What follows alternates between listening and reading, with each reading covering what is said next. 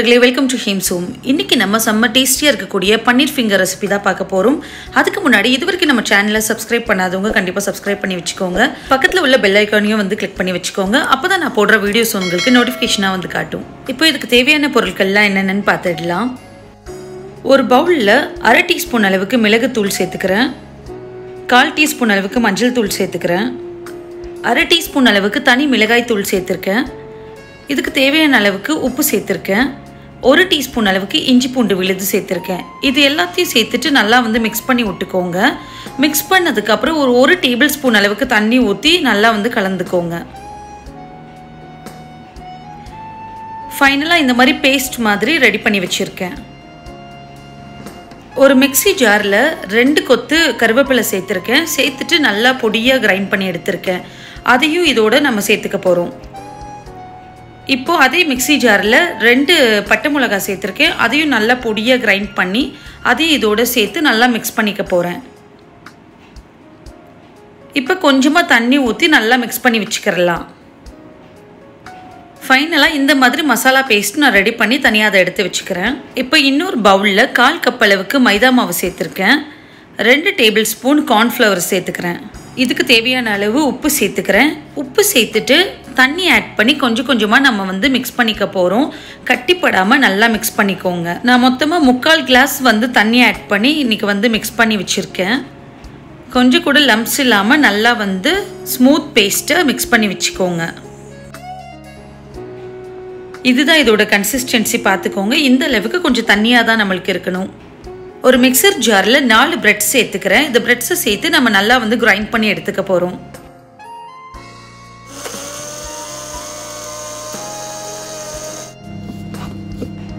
இப்போ இந்த பன்னீர் ஃபிங்கர்ஸை கோட் பண்ணக்கூடிய பிரெட் கிரம்ஸ் நம்மளுக்கு சூப்பராக ரெடி ஆயாச்சு. இதை தனியாக எடுத்து வச்சிடலாம். இன்றைக்கி நான் இரநூறு கிராம் பன்னீர் எடுத்திருக்கேன். ஸோ இந்த மாதிரி பன்னீர் எடுத்துட்டு இதை வந்து நம்ம ஸ்லைஸ் பண்ணி எடுத்துக்க போகிறோம் ஸோ பன்னீர் ஃபிங்கர்ஸ் வந்து ரெடி பண்ணுறதுக்கு ஏற்றாப்புல மீடியம் ஸ்லைசஸாக இந்த மாதிரி கட் பண்ணி எடுத்துக்கோங்க.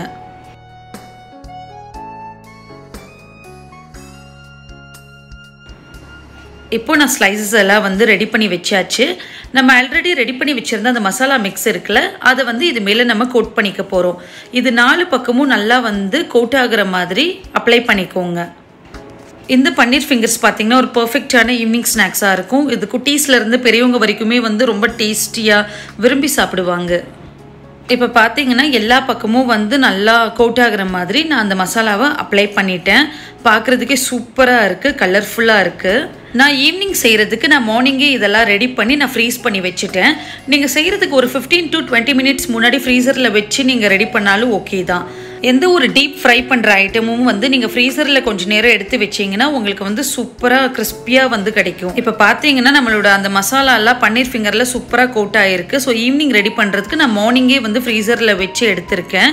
மசாலாலாம் சூப்பராக கோட் ஆகி செம்மையாக இருக்குது ஒரு கடாயில் இந்த பன்னீர் ஃபிங்கர்ஸை ஃப்ரை பண்ணுறதுக்கு தேவையான அளவு ஆயிலை வந்து ஹீட் பண்ணி வச்சுக்கிறேன். ஸோ இந்த கேப்பில் நம்ம பன்னீர் ஃபிங்கர் கூடிய அந்த கோட்டிங்லாம் ரெடி பண்ணிக்கிறலாம்.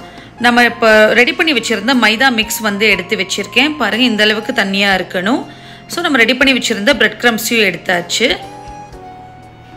நம்ம ரெடி பண்ணி வச்சுருந்த பன்னீரும் எடுத்து வச்சுருக்கேன். இப்போ ஒவ்வொரு பீசஸாக எடுத்து நம்ம அந்த மைதா மிக்ஸ் பண்ணி வச்சுருக்கோம்ல அந்த மாவில் வந்து போட்டு டிப் பண்ணிக்க போகிறோம் ஸோ எல்லா பக்கமும் படுற மாதிரி நல்லா ஃபுல்லாக டிப் பண்ணிக்கோங்க. இது டிப் பண்ணிட்டோன்னே நம்ம அந்த ப்ரெட் க்ரம்ஸில் வந்து போட்டு கோட் பண்ணிக்க போகிறோம் நல்லா ப்ரெட் க்ரம்ஸ் ஃபுல்லாக படுற மாதிரி நாலு பக்கமும் படுற மாதிரி ஈவனாக வந்து அப்ளை பண்ணிக்கோங்க. இந்த மாதிரி அப்ளை பண்ணதுக்கப்புறம் கையில் எடுத்து நல்லா வந்து ரோல் பண்ணி விட்டிங்கன்னா எக்ஸ்ட்ரா உள்ள ப்ரெட் க்ரம்ஸ் எல்லாம் வந்து நம்மளுக்கு கீழே விழுந்துடும். ஃபைனலாக இந்த மாதிரி பன்னீர் ஃபிங்கரோட கோட்டிங் வந்து நம்மளுக்கு கிடச்சிருக்கும். இதை நம்ம தனியாக எடுத்து வச்சிடலாம். மீதி உள்ள பன்னீரையும் வந்து இதே மாதிரி ரெடி பண்ணி தனியாக எடுத்து வச்சுக்க போகிறோம்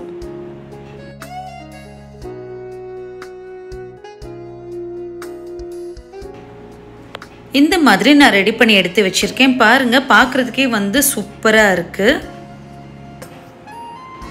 இப்போ ஆயிலுமே நம்மளுக்கு நல்லா ஹீட் ஆகிடுச்சு ஸோ நம்ம ரெடி பண்ணி வச்சுருந்த ஒவ்வொரு பன்னீர் பீசஸையும் வந்து போட்டு நல்லா ஃப்ரை பண்ணி எடுத்துக்க போகிறோம் எல்லா பக்கமும் நல்லா கோல்டன் ப்ரௌன் ஆகிற வரைக்கும் நல்லா ஃப்ரை பண்ணி எடுத்துக்கோங்க.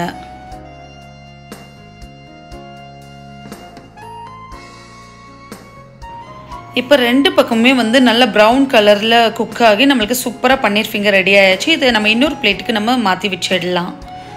மீதி நம்ம ரெடி பண்ணி வச்சுருந்த பன்னீர் ஃபிங்கர்ஸையும் வந்து இதே மாதிரி ஃப்ரை பண்ணி எடுத்துக்க போகிறோம் இதில் ஒரு சின்ன டிப் கொடுக்குறேன். பன்னீர் ஃபிங்கர் வந்து ஃப்ரை பண்ண நீங்கள் போடும்போதே எல்லா பக்கமும் வந்து அப்ளை பண்ணுற மாதிரி நல்லா திருப்பி திருப்பி விட்டுக்கோங்க. நீங்கள் ஒரு பக்கமே வந்து நல்லா குக் பண்ணிவிட்டு அதுக்கப்புறம் திருப்பி விடும்போது நம்ம போட்டிருந்த அந்த பேஸ் லேயர் வந்து அந்த கேப் மாதிரி எடுத்துக்கிறதுக்கு சான்சஸ் இருக்குது ஸோ போட்ட உடனே வந்து அது உடையாமல் திருப்பி திருப்பி விட்டிங்கன்னா ஈவனாக உங்களுக்கு குக் ஆகிருக்கும் நம்மளோட பன்னீர் ஃபிங்கர் இப்போ சூப்பராக ரெடி ஆயாச்சு. இந்த ரெசிபி நீங்களும் ட்ரை பண்ணி பார்த்துட்டு எப்படி இருந்துச்சுன்னு கமெண்ட்டில் சொல்லுங்கள் இந்த வீடியோ உங்களுக்கு பிடிச்சிருந்தா லைக் ஷேர் கமெண்ட் பண்ணுங்கள் ஹெய்ம் சும்மா மறக்காமல் சப்ஸ்கிரைப் பண்ணுங்கள் நன்றி.